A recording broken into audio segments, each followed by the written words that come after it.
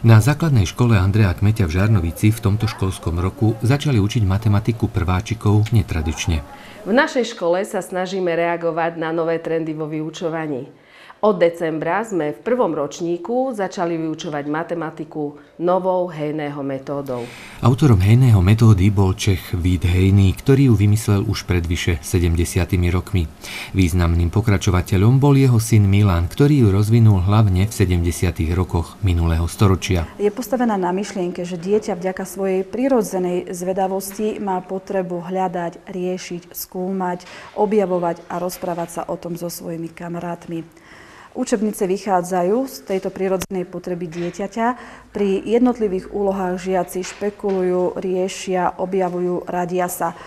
Radosť z objavenej veci s poznatkov vyvoláva v nich dobrý pocit a inšpiruje ich a motivuje ich k ďalšiemu hľadaniu a spoznávaniu. To znamená, že kým pri tradičnej výučbe matematiky sa jedná o memorovanie zákonitostí a vzorcov, pri tejto metóde sa necháva dieťa objavovať matematiku samé a hlavne v spolupráci aj so svojimi spolužiakmi.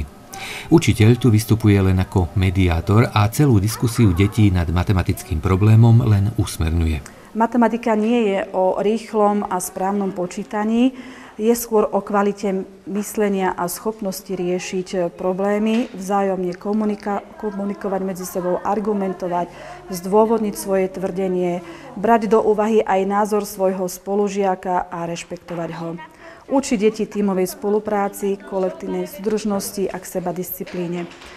Deti sa učia v podobe schém, nie faktov. Vďaka týmto schémam dokážu nielen riešiť náročné úlohy, ale sami si aj celú matematiku vybudovať. Dieťa je v podstate nútené trvale logicky myslieť a vymyslieť si riešenie a vzorce na danú úlohu samé. V kolektíve tak časom zistí, že k rovnakému výsledku sa dá dospieť aj rôznymi riešeniami.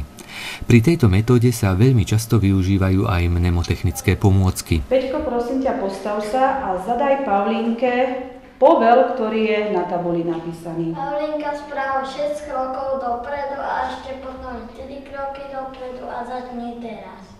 1, 2, 3, 4, 5, 6. Mňa baví na matematike stavby, čo stávame s kockami, s takými penovými. Lebo je to také zaujímavé a potom to aj ulepíme také plániky. Príklady mám veľmi rád, lebo ja ich rád vypočítavam. No, mňa bavia stavby a musím tam doplniť farby do plánov. Mňa baví matematika, kde s tým kam robíme, staviame stavby a počítame. Aj keď na Slovensku je len málo škôl, ktoré učia touto metódou, v susednej Českej republike ju majú implementovanú na stovkách škôl. O túto metódu prejavilo záujem aj Taliansko, Grécko, Fínsko, Švédsko, USA a Kanada. Polsko už vyškolilo prvých lektorov.